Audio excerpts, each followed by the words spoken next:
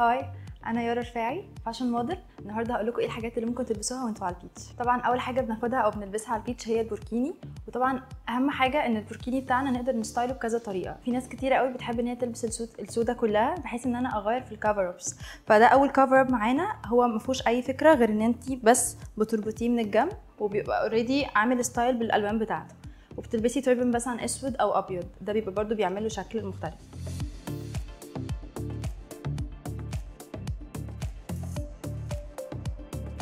تاني style أو تاني cover up هو ال style ده إن هو بيبقى مربع كده وكبير من كل حتة فانت تقدري إن انت ت style يه بكذا طريقة.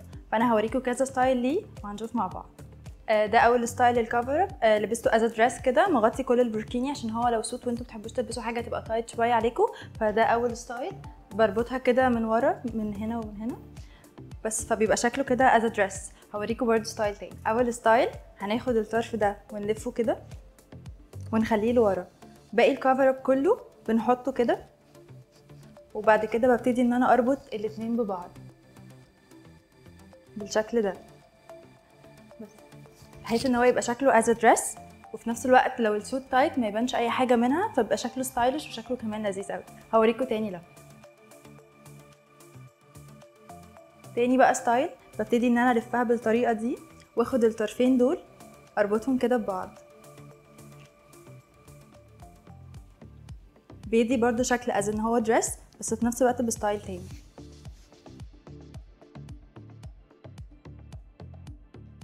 طيب ال styles دي لو أنا هقعد بالبوركيني على البحر أو برضو هنزل بيه البحر.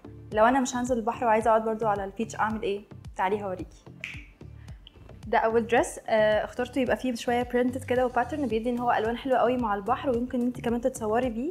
بيخلي شكل الصور كمان حلو قوي لما فيه كذا لون داخل مع الألوان الزرقاء وكده. ولبست عليه ال hat دي بتدي برضو casual look كده لذيذ. آه بس و slipper اللي هو بتاع البحر. ده أول style وهوريكم ال dress التاني. ده تاني style معانا. اخترت ال dress يبقى فوشيا عشان ال pop colors عامة في البحر برضو بتدي ألوان حلوة قوي في الصورة. يعني إحنا مثلا لو لبسنا فوشيا أو orange أو أخضر وكمان الأبيض بيبقى حلو قوي. هو الأبيض مش pop color بس من neutrals اللي هي already بتبقى حلوة برضو في الصور. فاخترت ال dress ده يبقى كله كده زراير بحيث ان أنا ممكن اعمل له styling كذا طريقة. أنا لبسته وحطيت ال belt كده عليه بس إحنا ممكن برضو نلبسه ونحط مثلا تحتيه البوركيني فيبقى زي cover up أو cache-maillot وممكن لو إحنا خارجين مثلا وعايزة ألبسه بطريقة تانية فألبس تحتيه جينز ويبقى casual look فاخترت يبقى برضو ال style ده ولبست عليه turban بحيث إن إحنا برضو نبقى نبقاش حرانين قوي يعني.